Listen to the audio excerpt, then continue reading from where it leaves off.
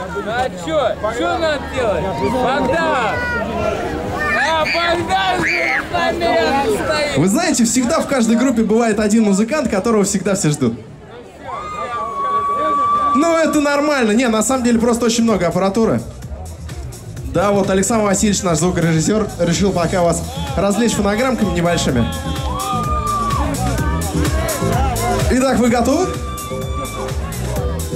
Все готовы?